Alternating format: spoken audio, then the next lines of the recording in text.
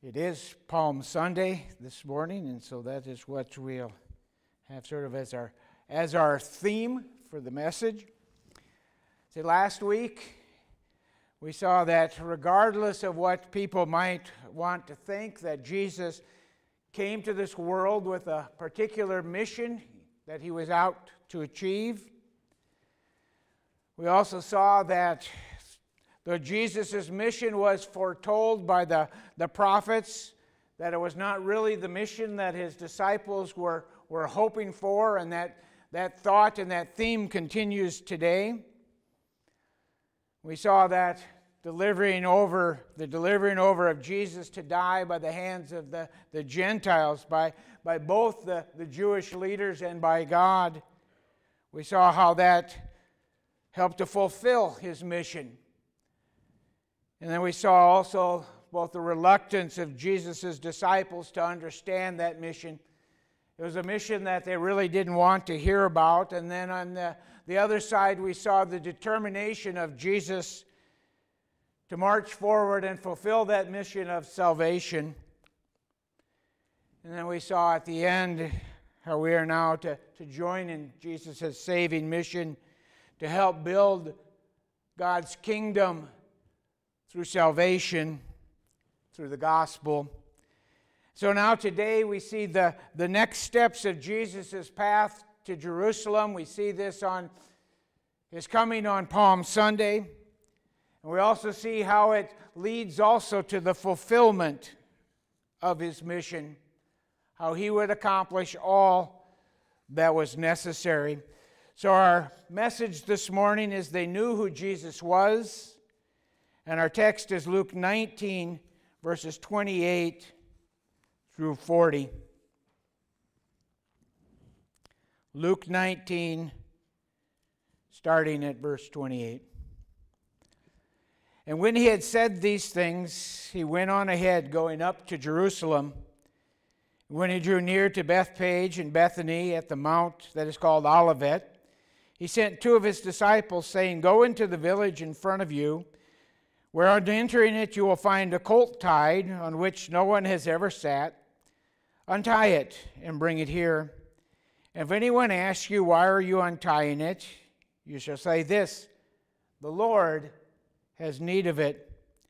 So those who were sent away found it just as, they had, as he had told them. And as they were untying the colt, its owner said to them, Why are you untying the colt? And they said, the Lord has need of it. And they brought, and they brought it to Jesus, and throwing down their cloaks on the colt, they set Jesus on it. And as he rode along, they spread their cloaks on the road. And as he was drawing near, already on the way down the Mount of Olives, the whole multitude of his disciples began to rejoice and praise God with a loud voice for all the mighty works that they had seen saying, Blessed is the King who comes in the name of the Lord, peace in heaven and glory in the highest. And some of the Pharisees in the crowd said to him, Teacher, rebuke your disciples. And he answered, I tell you, if these were silent, the very stones would cry out. So far, the reading of God's holy word.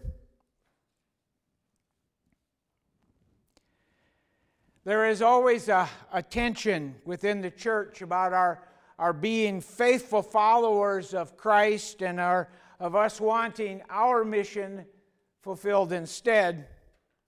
We're not always on the, the same page as what Jesus is, and sometimes I'm not even sure if Jesus' church is even in the, the same book as what Jesus is any longer. But last week we saw the disciples struggling with their, de- their desire for their mission over Christ's mission. They wanted their way and not his. Still, we see that this struggle was, was common when, when Jesus came to our earth. The Jews wanted a, a particular Christ or Messiah that would accomplish a, a particular thing. They had particular goals that they wanted the Messiah to fulfill, and it was primarily an earthly mission that they, that they saw. They wanted a Jesus under their own terms who would fulfill their mission and not necessarily his mission. They knew what they wanted from Jesus. They knew what they expected out of their Messiah. And the truth is that they would accept none other but the one that they wanted. And the Jesus or the Messiah they wanted they expected to come to overthrow Rome and reestablish David's throne or kingdom in Jerusalem. They saw that as the, the goal a kingdom that would place Israel over every other nation, and we could see how attractive that would be. What a wonderful place that would be to say, We rule over the world. And that was really their, their heart's desire. The truth is that both for the, the Jews and the disciples, by placing their mission over Jesus, as they wanted another Christ. Not the, not the actual one that came, eh, or at least they didn't want that one immediately. And today we see too that there is great pressure on the church to give the world the Jesus, the Jesus that they want, and not necessarily the Jesus that came offering them a different Jesus. But we need to understand to give into the pressure would be to deny them the true Jesus and the only way of salvation and to deny the true mission that Jesus came on. And so today in our text we see this continued ten- ten- this continued tension in our text as both of these those who are accepting of Jesus and those who are rejecting of Jesus wanted a different Messiah with a different mission, with an earthly mission. And again, we, we see that tension still within our, our church and our world today. And it's not as if they, they do not know who Jesus is, they simply do not want the real Christ. And so it seemed whichever view the people were holding then and oftentimes still hold today, they were not happy with the Jesus that came and they were not happy with his mission. And now we see some of that played out again in our text today as we saw already last week. So, first, Building on last week, we can see Jesus' determination as he draws closer to Jerusalem and fulfilling his mission.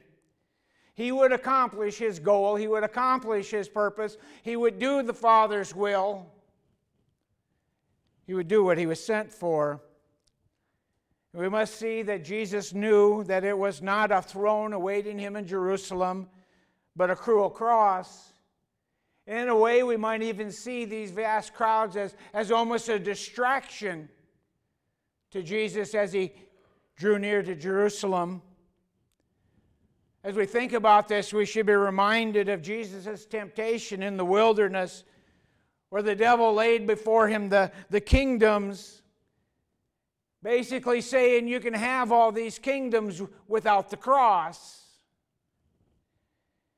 And we can imagine here that the devil was tempting Jesus also. Tempting Jesus to take the easy way out, just take the throne, ignore the cross. And we take the safe way, find the easy way. A temptation that he gives each of us, and a temptation that he gives his, his church yet to always find the safe way. But Jesus would not. Jesus would not take the safe way, and neither can we. So we see that Jesus would not be distracted from his mission. He would accomplish what he was sent for. And then throughout Jesus' ministry, we saw that oftentimes he intentionally hid his true identity how he, how he sort of stepped back at times so, so people wouldn't really understand. But, but now we see on Palm Sunday that that veil is fully removed. Jesus' grand entrance into Jerusalem made it clear to Israel and to everyone who he really is. All would be able to see the, the real Jesus, And in less than a week, or in a week, they'd be able to begin to see his true mission as the promised Messiah. And so we too must, must see this in our text to see who is this Jesus? Why did he come? And is he the Jesus that we follow? And so our text opens now with Jesus sending his disciples. And the picture here is that his disciples were dispatched with kingly authority. Jesus, as the king, sends his people to go to and fro to do his bidding. And that day, Jesus would truly be treated like, like royalty. They would treat him in a kingly fashion. And his disciples would, would go quickly and do their king's bidding. By getting the colt, the colt of a donkey, we, we see too that they were fulfilling prophecy. Again, pointing to who this Jesus really is. The tying and the untying of the colt pointed to Jacob's prophecy about Judah and about the, about the ruler who would rise up from Judah. And so we see, even in such a little thing as untying the colt, pointed us to who this Jesus really is. And then we see in our text that immediately the, the colt's owners also submitted to Jesus. The Lord had need. And so the objections, the questions all fell by the wayside. And then we even get another hint a hint of who Jesus really is as the disciples went there and found everything as he said it was going to be. It was laid out exactly as Jesus had declared.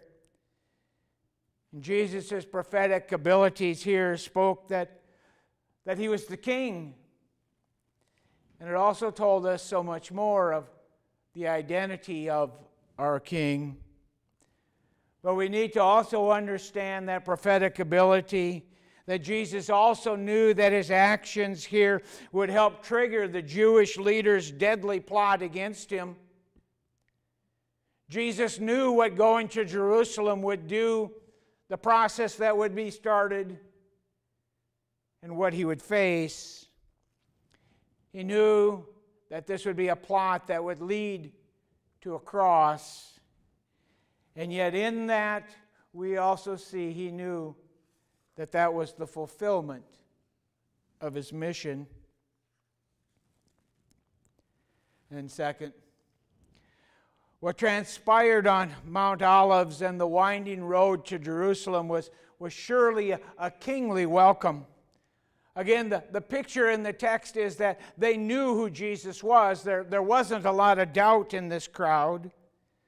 We need to understand that the pilgrims coming to Jerusalem for the, the Passover were steeped in messianic prophecies, oftentimes more so than, than even the locals in Jerusalem were.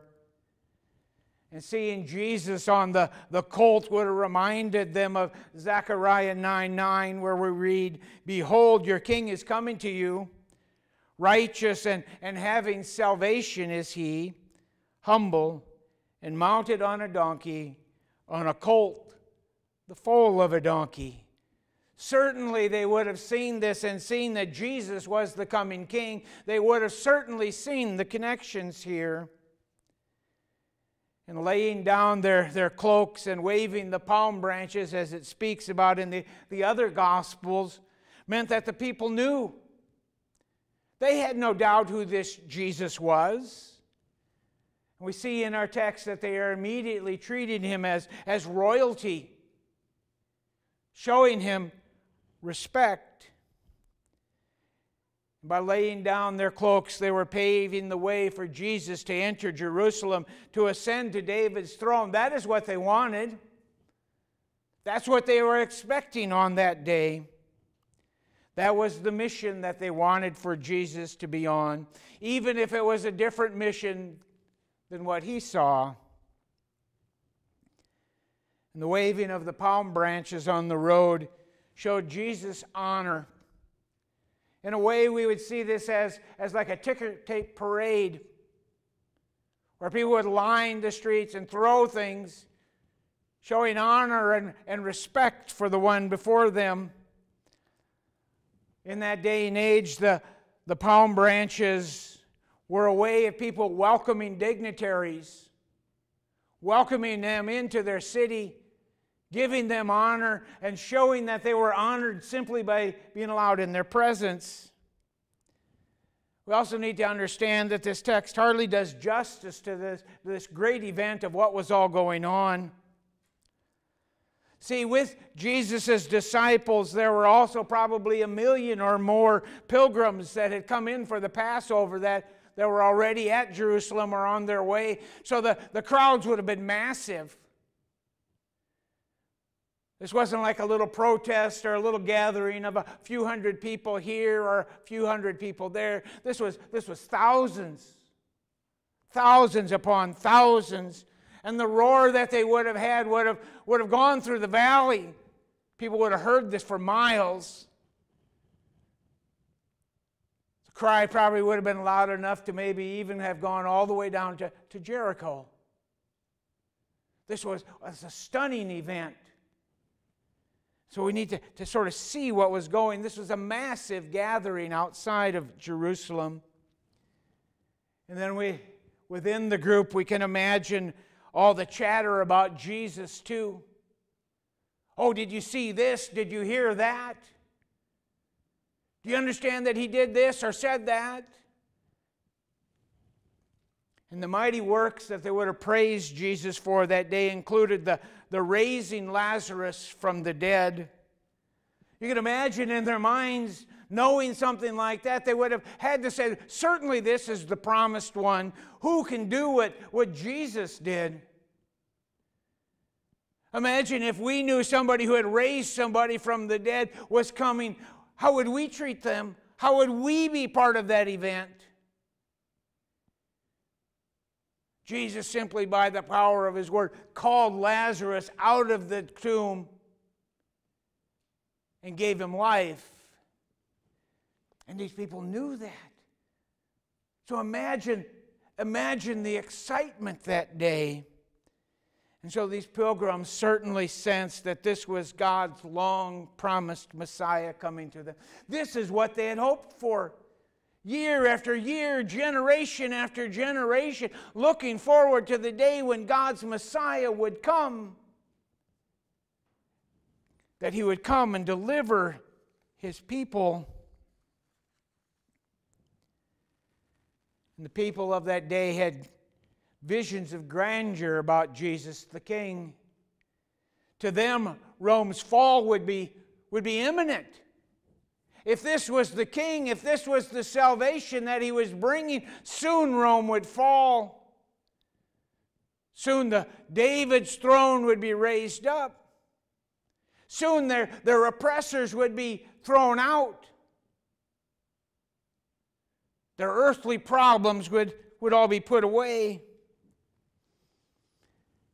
as a, I was thinking about this a little bit.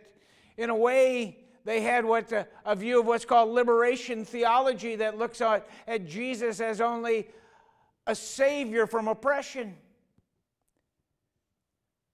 We think sometimes, oh, that's a new thought that we've had in the, the past century, but already the peoples back then had that same view. Jesus is going to save us from the Romans. He's going to lift us all up, and then we will be in charge. That's the, the message of the social gospel today. Jesus just comes to fix things in this life. And they forget his real mission. And we need to understand that if it had been if it had been up to this massive crowd that day, that Jesus would have been anointed the king. That is what they wanted. They wanted Jesus to be the king so Rome could be thrown out, and the quicker the better. And then they cried out, Come in the name of the Lord. And that tells us that they knew Jesus was their promised Messiah, coming to, to do the Lord's bidding, to fulfill the prophecies. And the Messiah was to be God's representative. The Messiah would come and rule in the name of the Lord. That is what they were looking for. And the crowd quotes from Psalm 118, which speaks of the salvation of our Lord that points to God's long promised Messiah, deliverer, and Savior. But their hopes of a Savior was different from the Savior that came. And the salvation that they desired was not the saving mission that Jesus came to fulfill. Their kingly welcome was not welcoming the king they were hoping for. And this remains this remains true even for our day, where people want to shape and change Jesus into the Jesus they want instead of following and submitting to the Jesus who came. And then, third, we need to see that the, the Pharisees here, they were a smaller group. It would have been a very small group compared to the rest of the crowd that was there that day. But they were wanting Jesus to rebuke the crowd, and they wanted that because they, they wanted Jesus to really deny that he was the king. See, because they already had positions of power, they already had positions of authority. And so they wanted a Jesus that would just leave them alone, where they could maintain their own lifestyles, do as they pleased, and be the ones in charge. And so while the, the, the large group saw Jesus as the deliverer from the oppressors, the Pharisees feared the Jesus who might take their power away. Because if he lifted up all them common people, what would be left to them? So they wanted Jesus to deny that, that he had anything to do with being the promised Messiah. They wanted Jesus to reject his kingship and say that he was not their king. They didn't want to follow the route that the common people were saying. But the truth is here that neither group, neither group wanted the true Jesus. Neither wanted the, the Jesus that the Father had sent into the world. So we need to understand that if Jesus had wanted the throne in Jerusalem that day, he could have taken it. This vast crowd, he could have marched in there. The Roman soldiers wouldn't have little, if any, ability to stop them, at least not until reinforcements could have come. Yet it would be Jesus' rejection and not his acceptance that would actually fulfill his mission. See, Jesus' mission wasn't be, to come in there and, and take over Jerusalem. His mission wasn't to deliver them from Rome, his mission was to be a Savior. And his mission was not their mission. Still, everyone, everyone there on Palm Sunday knew exactly what the events of that day were declaring. Whether it was his disciples, whether it was all those pilgrims, whether it was the Pharisees, all of them knew that the events that day were declaring that Jesus was the promised Messiah, come to fulfill God's will. They knew he was the one the prophets had spoken of. And though they understood the prophecy, again, Jesus was simply not the Messiah they wanted. And the Pharisees and the other leaders rejected Jesus. And within a few days, the rest of the people would also. They would reject him because he was not, he was not the Messiah, he was not the Christ that they wanted. And today, that is the battle that we have in our churches. We have churches throughout this land who are li- lifting up a Jesus who is not the Jesus of the Bible. They are lifting up a Christ who is not the Christ of the Bible. They're offering a salvation that is not the salvation of the Bible. And the same battle that Jesus had on Palm Sunday is the battle we still have today. In some ways, we need to say, I think, that the disciples, like last week, that these things are still in a way hidden from them. If it was hidden from the disciples, it was certainly hidden from the, the crowds. That they were in a way blinded, and we could see that the Jewish leaders were certainly hardened. In a part, in part, this was because God's mission needed to be fulfilled by Jesus Christ. And in part, again, it was because they wanted a different Jesus. They needed to look somewhere else to find a Jesus beside the one God had sent. And then we see, sort of in a, in a stunning picture of the leaders of that day, we need to sort of understand what Jesus is saying. They say, well, well, stop these people from crying out. And Jesus says, if I stop them, the stones will, will start crying out. We have to understand how big of an insult that was to the, the Pharisees because really he's saying the, these stones, these stones on the pavement that we walk on have more spiritual life in them than you do. They know their Creator. They know the Messiah. They would cry out. Why don't you? It's pointing to the, the spiritual death in these leaders. They were but spiritual zombies.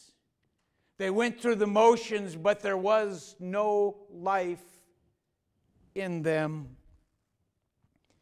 And this remains true today of all of Jesus' foes and adversaries. They may speak, they may move, but spiritually they are but the walking dead. Yet we also have to see that God would use the rebellion against them. See, as the week would advance, they would think victory was theirs, but it would not be. Because not only could they not stop Jesus' mission, their hate would, would help fulfill that mission. It would lead to the cross.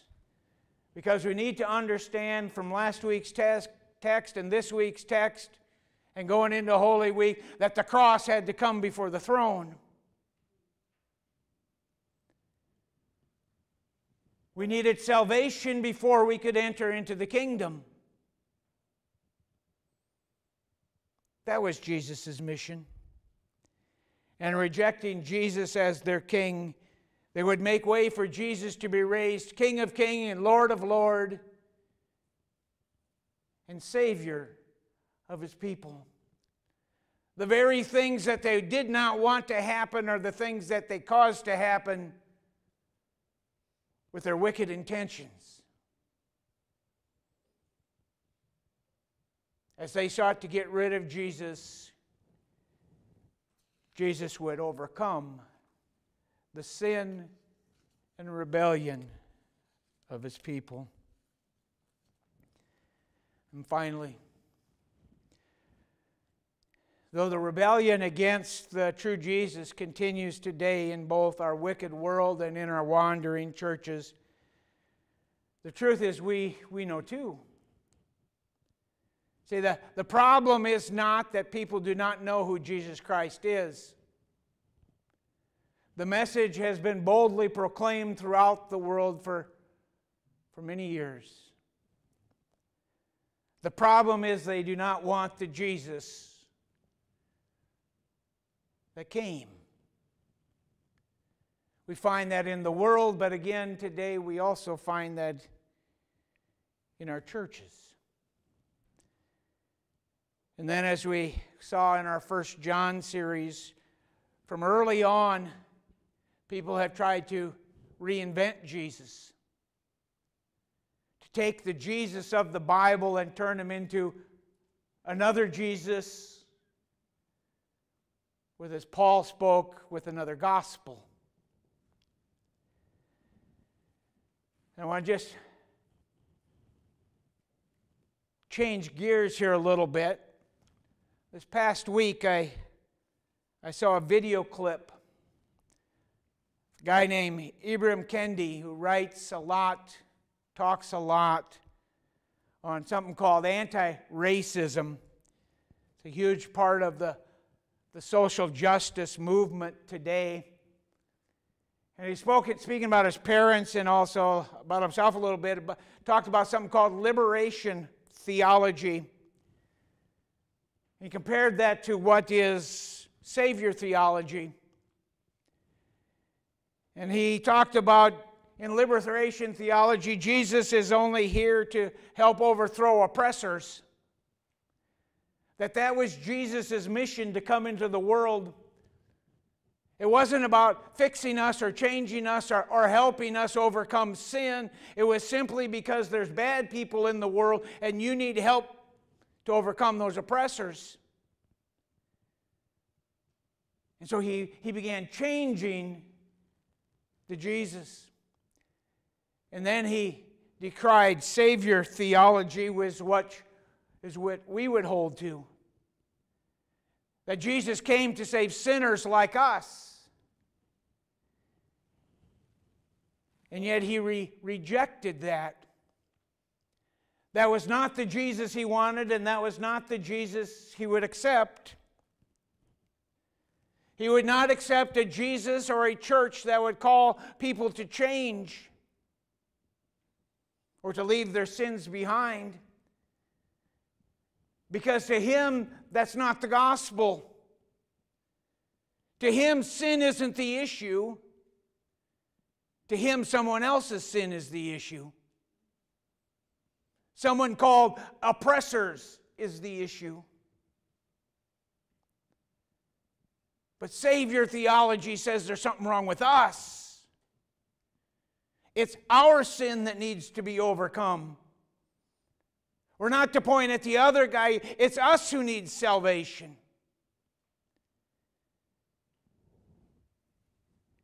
And what we find is that he has invented another Jesus and he has invented another gospel.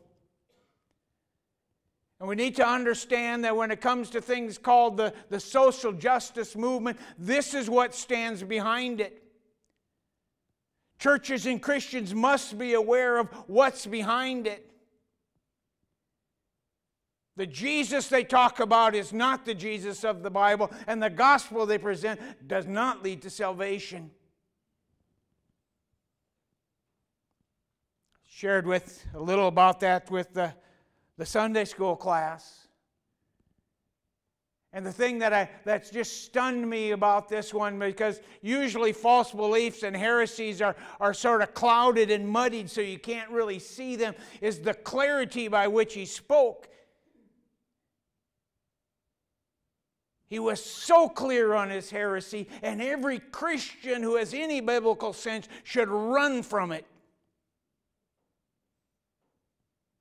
But so few will. Because they too oftentimes look for a different Jesus. And they too oftentimes want to hear another gospel. But we must see that it is sinful. It is sinful to reject the true Jesus, and it is sinful to set up a Jesus of our own making. It is but an act of rebellion instead of submission. And shortly after, now, the first Palm Sunday, the people realized Jesus was not the Jesus they wanted. And in killing him, they missed the Jesus that they needed. And that's what happens today. As people make up their own Jesus today, they miss the true Jesus. They missed the right Jesus. And that is why we cannot compromise on who Jesus is. Because the world at that point will miss the only Jesus who can save them. That's why we as churches must be strong in our doctrine, strong in our understanding of who Jesus is, what his mission was, and the salvation that he brought. That's just what should get our attention. That should be our focus. Yet, even, even with all the struggles and even the attacks on the church, through the church, God is still fulfilling Jesus' mission. The gospel continues to, to go out through the world. Salvation continues to flow. Sinners continue to be saved. And there's good things that come out of these struggles. See, these struggles and attacks force us as believers and as churches to define and believe in the true Jesus Christ. They force us to go back to our scriptures and say, Who is this Jesus and why did he come? We also have to see that these struggles help to define the wheat and the tares. Oftentimes, the wheat and the tares look so close we, we can't tell the difference, but times like this, you can begin to see the difference. When you begin to see those who you thought were wheat are all of a sudden standing with the world. Those who you thought were the wheat are all of a sudden promoting a gospel that is not the gospel. When you see them promoting a Jesus who is not the true Jesus. And we can begin to see the difference between those who once looked so much alike. We can begin to see that the distinctions are, are clear. We need to understand, too, that even today, people's hard heartedness is being used to fulfill Jesus' mission, as it did with the Pharisees. Their hate, their anger advanced the gospel and did not stop it. And no, matter how great the rebellion of the world and the false church, Jesus will succeed in his mission.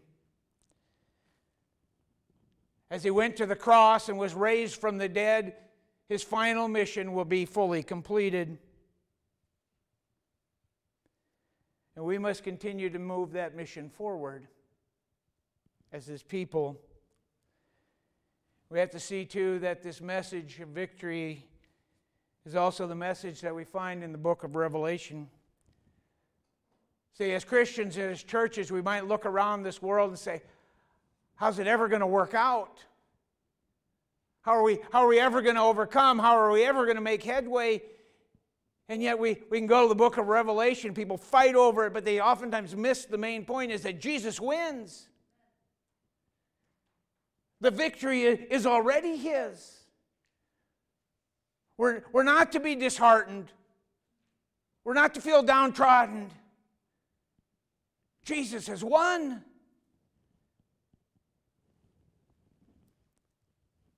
And that is the promise that we now continue to look to.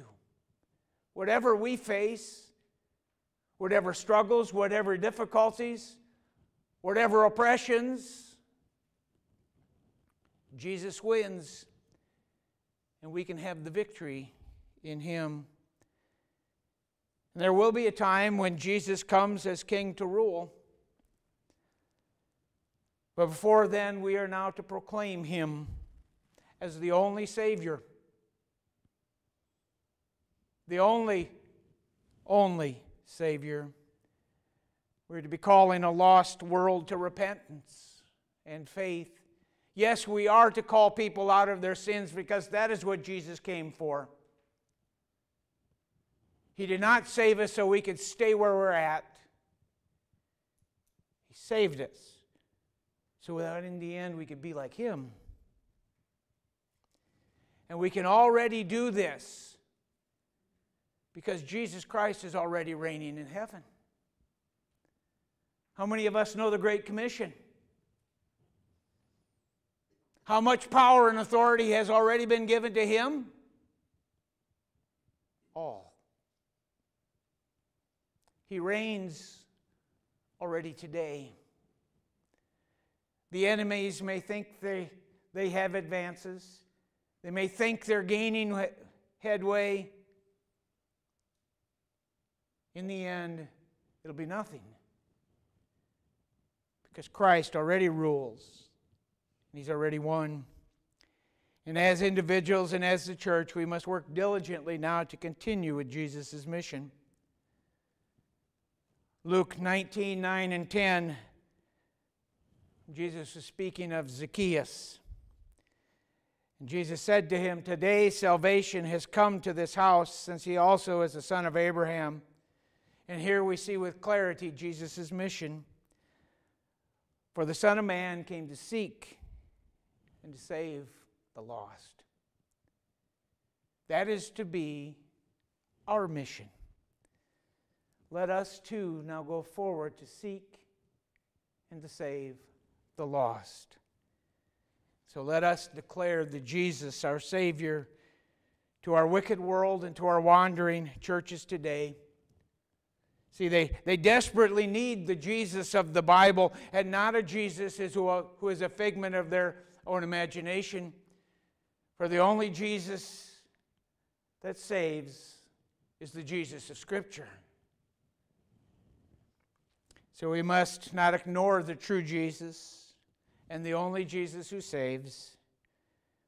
And let us cling to the Jesus that we know. And let us tell a dying world of our wonderful Savior. And we need to be clear as individuals. We need to be clear as churches. No substitute will do. It is either the Jesus of the Bible as our Savior, or we have no Savior at all. Amen. Shall we pray? Father in heaven, we thank you that you sent your Son into this world. We thank you that there was nothing, nothing that would take his sights off of his mission. And Lord, we thank you for the cross.